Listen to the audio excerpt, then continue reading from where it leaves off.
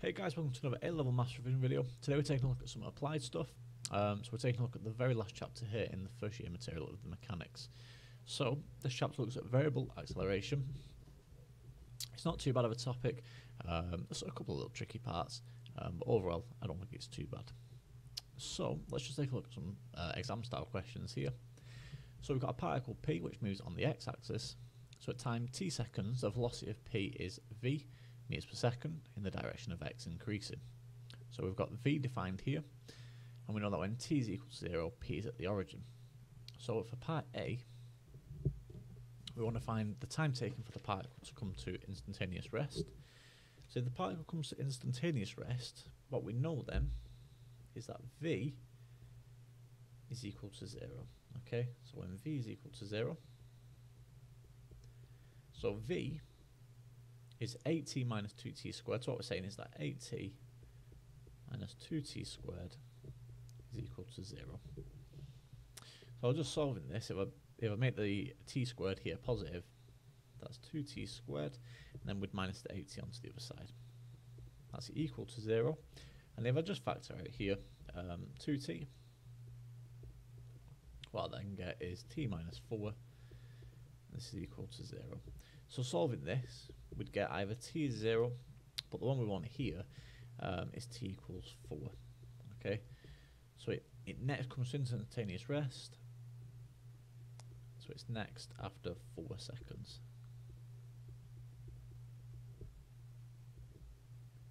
Okay, so that's just part A there to get us started. And then part B here, we're looking for the greatest speed of the particle in the interval um, from 0 to 4. Now this one's quite easy due to the symmetry. Um, so due to symmetry here,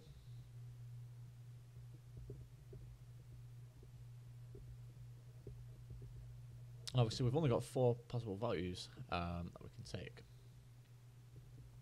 Oh well, really, we've got five. Um, so due to symmetry here, for example, if you consider t equals 1 if you do t equals 1, it's also the same as doing t equals 3 here. You get the same output for v.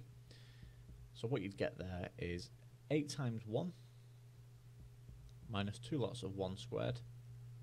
Which this also gives you the same answer for 3 here as well. Okay, so that gives you 8 minus 2, which is equal to 6. You can verify this if you do t equals 3 as well. So if you sub in 8 times 3 minus 2 lots of 3 squared, you should also get 6. Okay. So what we're essentially looking for here is the largest value. It's clear not when t is 0, because that'll just give us v equals 0. And it won't be t equals 4 either, because we know that's when it comes to instantaneous rest. So in that case, the only possible answer here would be t equals 2. Because if we double check this, what do we get for v? So this is 8 times 2 minus 2 lots of 2 squared here. And if you plug that into your calculator, what you should get here is 8. So because that's 8, that's the largest value for v here in this interval. So in that case, so in the interval defined, or defined, I can't speak, the greatest speed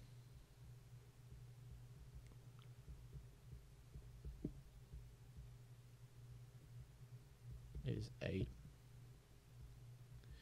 meters per second there. Okay, so a nice introduction question there just to get us started. You'll see a couple of questions in a, in a moment where it gets obviously a bit more complicated, where we have to start applying um, calculus and such. So this question here, taken from exercise 11e. So again, same idea, we've got a particle moving in a straight line with constant acceleration. So the first part just wants us to find the acceleration of the particle. So question 5a. So three marks for this. So finding the acceleration. Well, one way of finding the acceleration is using SUVAT equations. So v equals u plus at works well here. And why does it work well? Well, the reason it works well is we have v. Um, we're told v is 13 meters per second. Um, we also have u. The initial velocity is 5 meters per second. And we also have t, because we know t is 2. Okay, and t is 2. So using that, we can work out the acceleration quite nice. So 30 is equal to u, which is 5, plus a times t, which is 2, so that's 2a. Solving here now for a, we get 2a is equal to 8. So in that case, a is equal to a divided by 2, giving us a equals 4. So that's the acceleration of the particle. Um, right, units there. Don't forget units. And then for part B, so we're asked to do this without making use of kinematics formulas, so essentially SUVAT equations.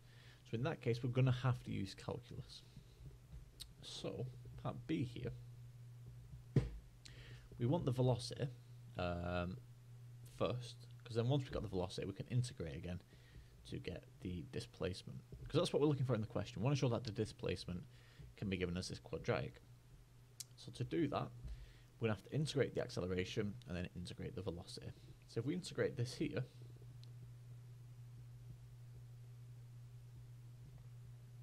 so the velocity is equal to the integral of the acceleration with respect to time, or with respect to the variable t here.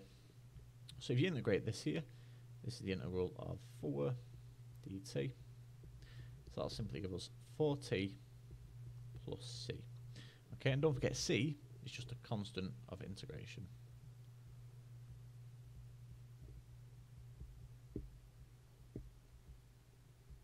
Okay, so c is just a constant of integration.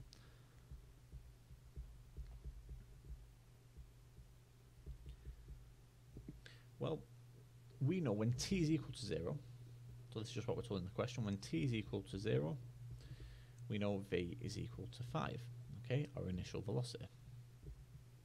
So using that, what we can say then is that 5 is equal to 0 plus c, okay, because 4 times 0 is just 0, so in that case, that gives us that c is equal to 5. So, to finish, the velocity is 4t plus 5. So all we need to do now is integrate one more time and see what the quadratic is that we obtain. Okay, so we know what v is. Let's just clear all this and carry on. So v is equal to 4t plus 5. So in that case, if we integrate this, we obtain the displacement. So s is equal to the integral of v with respect to t So in our case, that's the integral of 4t plus 5 dt. So now, if we integrate 4t plus 5, what will that give us? Well, that's going to be 4t to the power of 2 divided by 2. So that'll give us 2t squared. Integrate the 5, so that just give us 5t. And we'd also have, again, another constant of integration. So I'm going to use a different layer. Um, you can use any layer pretty much here. So in that case, m is a constant of integration.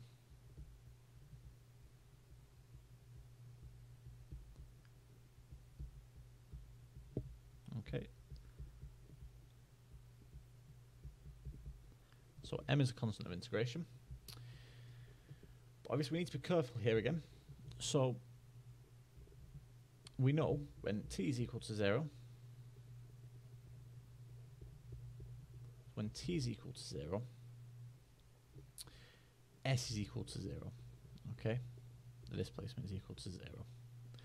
So, in that case, we can use s equals 0 is equal to 0, because 2 times 0 um, squared is just going to be 0, and then 5 times 0 is going to be 0. So 0 is equal to 0 plus 0 plus m, um, or in this case, m is equal to 0. So in that case, s then is just simply 2t squared plus 5t plus 0. So in that case, s is just equal to 2t squared plus 5t. Okay, so in that case, um, your p is 2 and your q is 5. And now would just be 0. Okay, so you want to write them down. Uh, that's what they'd be there. So 8 marks in total for that. Um, be careful, like it says here, you've got to always just make sure you're not using a method that's not approved for the question. So like we're told in part B, we can't use the kinematics formula, so just be careful for that. Part, uh, well, part C, question three here, is quite an, a good question, I think. Um, we've got a remote control, a remote control drone um, hovers such that its vertical height above ground level is given by the equation, and we get a little sketch here of a displacement time graph. So we're just asked to determine the maximum and the minimum height of the drone. So if we just edit this sketch a little bit, so the maximum height would appear to be here, and the minimum would appear to be here. Okay, roughly. Now, if you want the maximum or minimum height of a function, obviously the best way to do that is just to differentiate. So, if we want max or min, to do that, all we do is work out the derivative. Okay, so what would that give us? Well, what I can do is I can differentiate the numerator here, term by term, and just keep it over this common denominator 50. So the derivative of t to the 4, that would be 4t cubed, minus 36t squared. So like I said, I'm just going to cross the numerator term by term. So that gives 56t, and the 400 would just differentiate to 0. And this is all divided by 50 still.